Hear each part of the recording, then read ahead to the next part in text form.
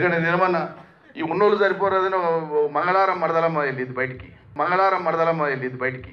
మంగళవారం మరదలమ్మ వెళ్ళింది బయటికి. మీకు అర్థం కాలే? మంగళవారం మంగళవారం దీక్షలు చేస్తుంది ఒక ఆమె. అది కూడా ఉద్యోగాలు కావాలని అంట ఆమె కథ మళ్ళీ చెప్తాం.